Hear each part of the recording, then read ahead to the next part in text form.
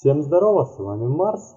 Сегодня я вам покажу, где находятся инструменты для грубой работы. Сталкерс в Припяти дополнение Мизери. Мы находимся в лесничестве. Проходим в основное, так сказать, здание.